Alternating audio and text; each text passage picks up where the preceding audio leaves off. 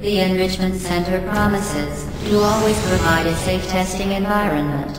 In dangerous testing environments, the Enrichment Center promises to always provide useful advice. For instance, the floor here will kill you. Try to avoid it.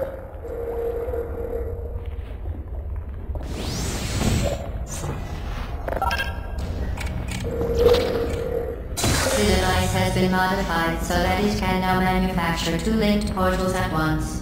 As part of an optional test protocol,